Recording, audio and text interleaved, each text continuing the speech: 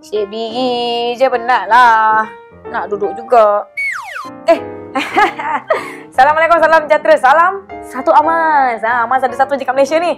Terima kasih kerana masih lagi menonton Retrology. Sekarang ni dah episod ke... 4, 5, entahlah. Ha, janji korang tengok tiap-tiap episod. Tak kisah. Okey je. Jadi retrologi ni bagi yang tak tahu atau yang baru tengok kan kita membawakan kembali uh, imbas balik uh, sejarah-sejarah dunia teknologi yang akhirnya membawa kepada apa yang kita ada pada hari ni. Uh, inovasi pada inovasi pada inovasi sebab teknologi ni dia dia berkembang kan. Berkembang jadi benda lain, berkembang jadi benda lain. Ha, macam itulah. Jadi hari ni, hari ni banyak pula kita nak kongsi. Ha, jangan kau mana-mana, duduk-duduk kat situ. Kita nak mulakanlah sejarah minggu ini dengan peranti permainan Sega Mega Drive atau Sega Mega Drive dengan nama famous-famousnya Sega Genesis. Ianya merupakan satu konsol permainan uh, 16 bit yang dikeluarkan oleh Sega pada uh, 29 Oktober tahun 1988 lama tu bak 27 tahun yang lalu ha kalau abang saya ni ni lagi tua daripada abang saya ha salah satu permainan yang popular dengan Sega ini adalah Sonic. Ha, kalau ingat lagi yang sememangnya dulu eksklusif lah. Orang kata apa? Uh, untuk konsol Sega ni kan. Jadi sehingga ke tarikh akhir pengeluaran konsol ini, ianya telah terjual sebanyak 40 juta unit. Ha, banyak tu 40 juta sekaligus ianya menjadi antara konsol yang sangat popular pada masa tu. Ha, pada tahun 1988 daripada era itulah 40 juta unit tu ya Allah banyaknya. Ha, kalau movie ni dah pecah panggung. Ha, bukan setakat pecah panggung, panggung-panggung sebelah pun dah pecah. Ha, jadi, baiklah kemudiannya pada 11 Oktober 1957, Tun Dr. Mahathir, Perdana Menteri kita pada waktu itu dah pun melancarkan kempen teknologi maklumat dan pada waktu itu kawasan koridor raya multimedia diwujudkan bagi memajukan industri IT dalam kalangan rakyat. Ha, maju tak maju kita sekarang ni. Ha, jadi kempen ini juga bertujuan untuk mewujudkan lebih ramai pekerja yang berilmu untuk bersaing di pesada antarabangsa. Ha, sekarang ni ramai dah orang kita yang berjaya kat luar negara ya tak? Jadi Tun Mahathir juga pada waktu itu turut menyebut dengan uh, industri IT barulah uh, apa ni? Uh, sorry.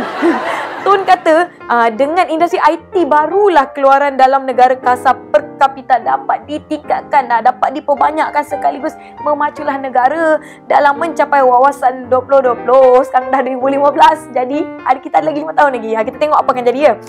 Baiklah kita imbas balik uh, dalam 14 tahun yang lalu pada tahun 2001 pada 23 Oktober Apple mengeluarkan iPod bagi tujuan sebagai peranti pemain muzik. Ha jadi kemunculannya pada tahun itu merupakan peranti pertama yang dihasilkan selepas Steve Jobs menerajui semula Apple.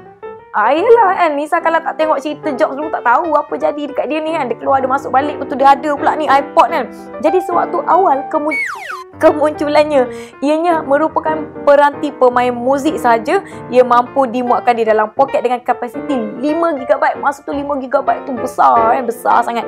Jadi tahun demi tahun terdapat uh, variasi yang muncul untuk iPod ni lah. Kita ada iPod Shuffle. Uh, iPod Shuffle tu dia saiz dia seakan-akan gula-gula getah. Dia kecil je. Lepas tu kita ada iPod Nano uh, yang membawakan rekaan memanjang dengan skrin berwarna dan juga ada kamera uh, dan juga siri iPod dijual sehingga ke tiga variasi uh, termasuklah iPod Touch yang mempunyai rekaan seakan-akan iPhone. Ingat lagi dulu Nisa dapat iPod Touch uh, generasi kelima. Masa tu iPhone 5 kot baru keluar betul semua orang pun macam eh is that iPhone 5 I was like macam no it's not kan obviously iPod Touch ni lagi nipis daripada iPhone ha. fungsi dia sama je dengan iPhone tapi pandai eh diorang ni diorang tak bagi kita masuk SIM card kalau tak orang tak nak beli iPhone ni dah sebab iPhone ni bisa kenapa berdasarkan penggunaan peribadi iPod sebagai pemain musik, pemain video, uh, tukar gambar, bateri dia tahan lebih lama berbanding dengan iPhone.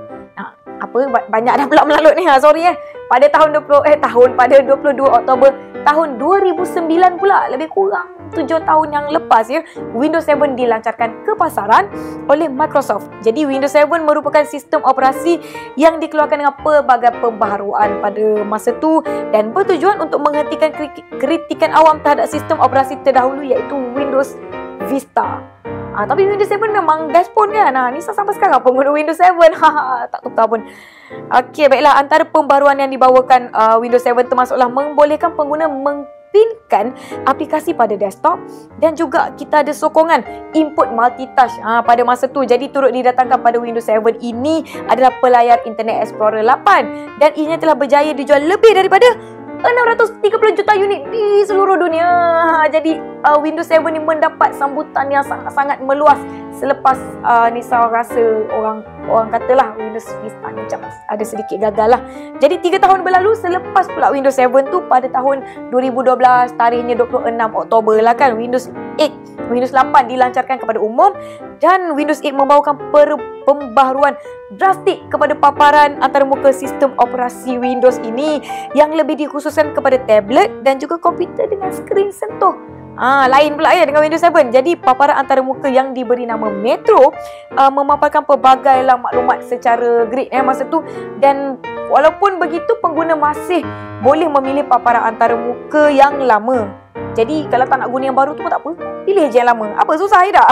Jadi antara pembaruan yang dibawakan termasuklah perisian antivirus terbina, sokongan USB 3.0, NFC dan juga kedai atas talian Windows Store. Membolehkan pengguna membeli membeli aplikasi sorry, apa tadi? Windows Store Windows Store membolehkan pengguna membeli aplikasi serta perisian untuk Windows eh, maaflah makan banyak sangat. Oh kenyang ah tersasul-sasul pula kan. Ha save tak selalu je lah. Hilang pula keaiban aku. Ayu ke Jadi anak-anak semua yang menonton ya, ha, terima kasih. Kerana sudilah. Orang kata apa menonton satu video ni dengan tah macam-macam lah. Nisa ni kan tersasul lah apa lah lalu lah. Tapi yang penting apa yang disampaikan uh, kita mengimbas balik. Orang kata apa perkembangan dunia teknologi kita kan. Kalau tak ada ni semua dulu kita tak ada apa kita ada sekarang ya. Ha, baiklah tiap-tiap minggu nanti akan ulang ayat yang sama mula dan akhir okey? Baiklah jadi terima kasih kerana menonton Retrology jangan lupa teruskan menonton Retrology episod-episod seterusnya.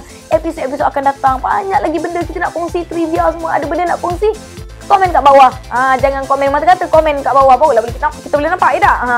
jadi terima kasih kerana menonton. Saya Nisa. Yosh. Yosh tu